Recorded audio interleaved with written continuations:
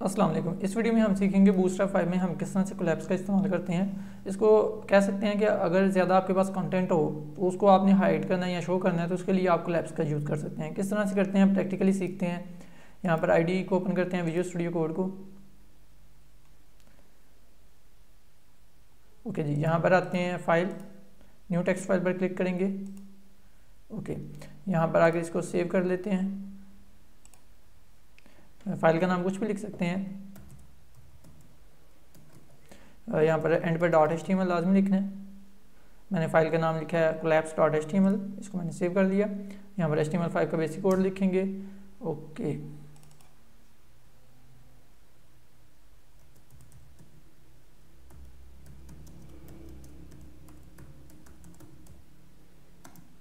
इसको सेव करते हैं। इस वेब पेज को मैंने सेव किया हुआ है इस फोल्डर में।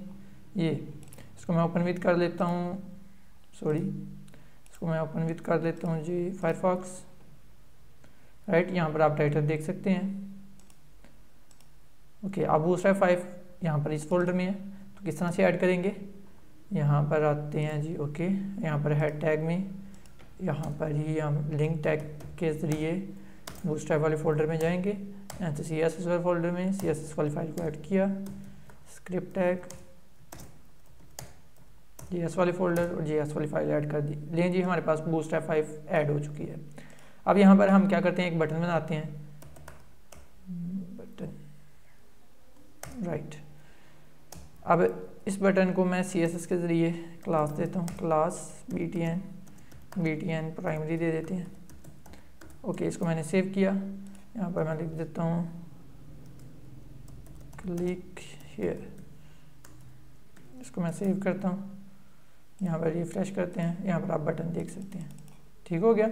अब यहाँ पर मैं क्या करता हूँ जी, एक डिव टैग बनाते हैं, जिसमें कंटेंट लिखा होगा डिव यहाँ पर मैं पी टैग के अंदर पैराग्राफ टैग में कंटेंट लिखता हूँ। आपने क्या करना है कंटेंट कंटेंट अगर नहीं मिल रहा तो आप ऐसा करें सिंपल सी बात है। अगर आपने डेमो वगैरह या अभी चेकिंग वगैरह कर रहे हैं कि कंटेंट नज़र आ रहा है कि नहीं? तो कंटेंट ऐड करने के लिए आप सिंपल सी बात है L O R E M लिखें और यहाँ पर एंटर प्रेस कर दें। लें जी आपके पास सिंपल सा कंटेंट आ गया, जिसको हम अब चेक कर सकते हैं। अगर अपनी मर्ज़ी से आप ऐड करना चाहें तो आप ऐड कर भी सकते हैं, ठीक है?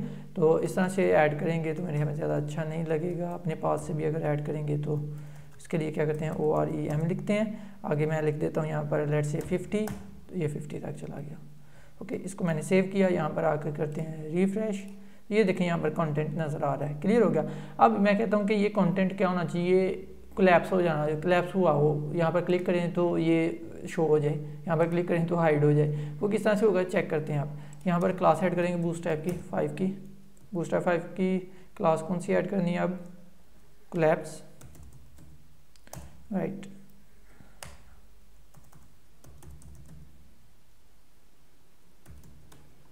इसको मैं सेव करता हूँ, यहाँ पर आके रिफ्रेश करते हैं। ये देखें, ये कोलैप्स हो चुका हुआ है कंटेंट मौजूद है, लेकिन वो कंटेंट ये वाला, ये सारा क्या हो गया? क्लैप्स हो गया हुआ है। ठीक है? ये कंटेंट अब क्या हो गया हुआ है? क्लैप्स हो गया हुआ है। तो इसको शो करने के लिए क्या करना पड़ेगा? मैं ऐसा करता हूँ, क्योंकि मैंने इस बटन पर क्लिक करने से शो करवाना है ना तो इस बटन पर आकर मैं लिखता हूँ डेटा बी एस टारगेट इसको सेव करते हैं। ओके यहाँ पर वैल्यू भी देनी है। यहाँ पर वैल्यू दे देते हैं। लेट से इधर मैं वैल्यू दे देता हूँ डेमो ठीक है, इसको मैं सेव करता हूँ। तो ये डेमो वैल्यू जहाँ, कहाँ से भी यहाँ से। यहाँ पर मैं आईडी एट्रीब्यूट देता हूँ आईडी यहाँ पर मैं लिख देता हूँ डेमो इसको मैं सेव करता हूँ, यहाँ पर आके रिफ्रेश करते हैं। नहीं, काम कर रहा। क्या वजह? यहाँ पर हैश टैग भी आपने लिखना है, क्योंकि आईडी एट्रीब्यूट है ना। तो ये आईडी एट्रीब्यूट में वैल्यू दी हुई है। तो आईडी एट्रीब्यूट में जो वैल्यू देनी है, उसको पकड़ने के लिए आपने हैश टैग भी साथ में ऐड कर देना है। इसको सेव करते हैं। यहाँ पर रिफ्रेश करते हैं। क्लिक किया नहीं काम कर रहा। यहाँ पर आपने ऐसा करना है, एक और यहाँ पर एट्रीब्यूट ऐड कर देनी है। कर देना कि डाटा बी एस टोगल आपने ये एट्रीब्यूट भी ऐड कर देना है। और यहाँ पर वैल्यू देनी है कोलैप्स इसको मैं सेव करता हूँ। यहाँ पर आगे रिफ्रेश करते हैं आप। यहाँ पर आप क्लिक करते हैं, देखते हैं जी। ये देखें जी। ये शो हो गया। यहाँ पर मैं क्लिक करता हूँ तो हाइड हो गया।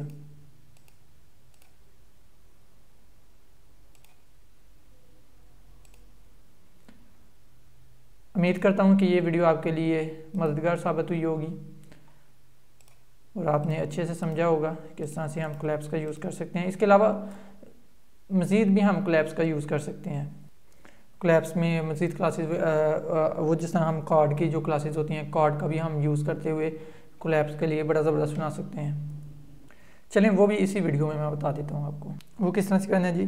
चलें, यहाँ पर आते हैं। यहाँ पर आकर नीचे काम करते हैं। यहाँ पर मैं एक डिव टैग बनाता हूँ, जिसकी क्लास होगी कार्ड ओके यहाँ पर आके आप कार्ड में क्या होता है? हेडर भी हो सकता है बॉडी भी होती है। तो यहाँ पर मैं एक और डिव बनाता हूँ। और इसकी क्लास रखते हैं कार्ड हेडर ओके अब यहाँ पर आकर नीचे एक और मैं क्लास बना लेता हूँ डिव और उसकी क्लास होगी कार्ड बॉडी ओके जी. यहाँ पर मैं अब आके ना इस कार्ड में, इसको मैं सेव कर देते हैं, एक मतलब रिफ्रेश करते हैं। ये देखें कार्ड ठीक हो गया?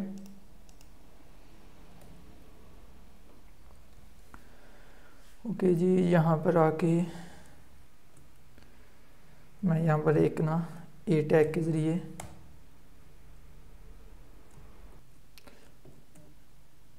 टैग सी ओ सी ओ लिख मतलब क्लैप्स वन ओके, इसका क्लैप्स वन जो है ना, यहाँ पर दे देंगे। यहाँ पर आकर ना मैं पी टैग के ज़रिए L O R E M लिखते। कि इसे सेव करते हैं, यहाँ पर आकर रिफ्रेश करते हैं। ये देखें जी। ओके जिस तरह से यहाँ पर हमने दिया था ये तो यहाँ पर भी हमें देना पड़ेगा। ओके जी, यहाँ पर ऐसा कर जो ये पहले दिया हुआ है, यहाँ पर लिख लेते हैं आईडी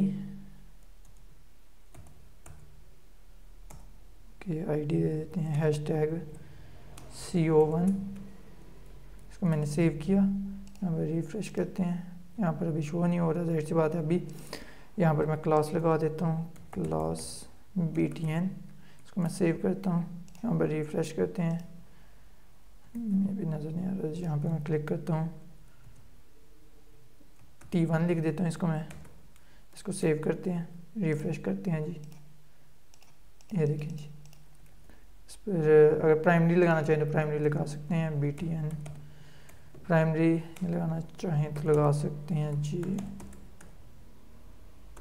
सेव करते हैं रिफ्रेश करते हैं नहीं काम कर रहा बस ओके अब काम कर रहा है, ये देखिए। ठीक हो गया।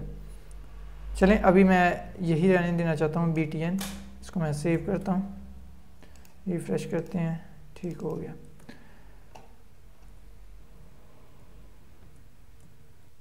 चलिए इधर लिख देते हैं डेटा बी एस टोकन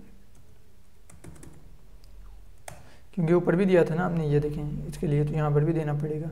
ये, चलें, इसको मैंने कोलैप्स कर देते हैं यहाँ से। चलिए रहने दें इसे। टारगेट में हमें hash tag C O one लिखना पड़ेगा आईडी में तो ना लिखते आईडी के लिए यहाँ से हमने पकड़ना है। ठीक हो गया। वैसे यहाँ पर एच रैप देने की शायद ज़रूरत नहीं है, क्योंकि हम इसे, इसको पिक कर देंगे। यहाँ पर आकर रिफ्रेश करते हैं। ओके कोलैप्स करना है अब। तो कोलैप्स के लिए क्या देना पड़ेगा? Data B S toggle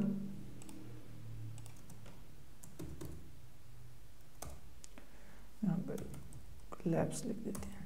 save करते हैं रिफ्रेश करते हैं ये आप देख सकते हैं जी। ये ऑलरेडी शो है ना, ठीक है? इसको मैं रिफ्रेश करता हूँ। तो ये देखें ऑलरेडी शो है। हाइड नहीं है। तो हाइड करने के लिए हमें क्या करना पड़ेगा? यहाँ पर आगे क्लास एक और यूज़ कर लेते हैं कोलैप्स इसको सेव करते हैं। यहाँ पर आकर रिफ्रेश करते हैं। ये देखें कोलैप्स यहाँ पर मैं क्लिक करूँगा। ये देखें, यहाँ पर मैंने क्लिक किया इस बटन पर। तो ये शो हो रहा है। क्लियर क्लियर हो गया जी? इस तरह से आप मज़ीद कार्ड वगैरह को यूज़ करके मज़ीद बेहतर बना सकते हैं। इसमें मज़ीद क्लासेस वगैरह का यूज़ करके इसको और मज़ीद बेहतर बनाना चाहें तो आप बना सकते हैं। उम्मीद करता हूँ कि ये वीडियो आपके लिए हेल्पफुल साबित हुई होगी।